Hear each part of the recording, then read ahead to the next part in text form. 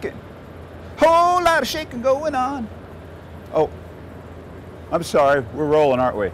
Uh, yeah, I, I, can't help myself because we're in Houston, Texas, where there's going to be a whole lot of shaking going on. Come on, let's go to the Terracon site.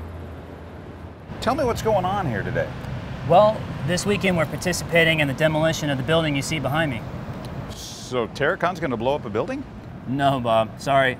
We're not going to get to blowing up today. What we're actually doing is uh, documenting the demolition event for some of the surrounding properties. Hopefully everything goes well this weekend. However, if it doesn't, we'll be the last line of defense for our clients. So how do you do all this documentation? How we actually do it is deploying vibration monitoring units adjacent to the buildings. And these units detect ground vibrations and record them so that we can take that data later, compare it to a known set of standards, turn around and tell our clients how severe those vibrations actually were. So I guess then you just get some kind of data printout. No, Bob, we actually do a whole lot more than that. We assess the condition of the buildings prior to the demolition and after. This provides a reliable record for our clients they can use to prove insurance claims, litigation, you name it.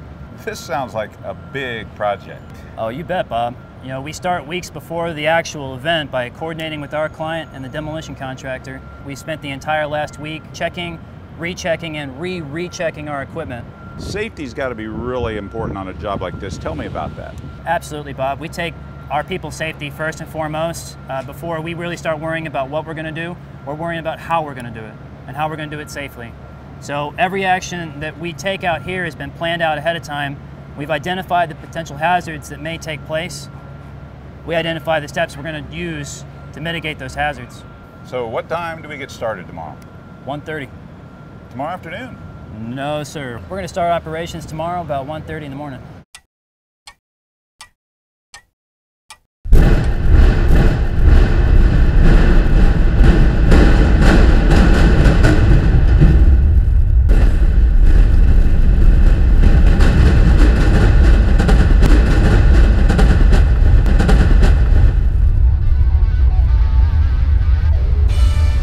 building's down. Now what do we do? Well, Bob, we send in one of our trained environmental personnel. They'll go in in uh, special PPE appropriate for a potentially hazardous post-demolition environment. They'll go to each of our vibration monitoring units. They'll pull the data handling unit. They'll bring it back.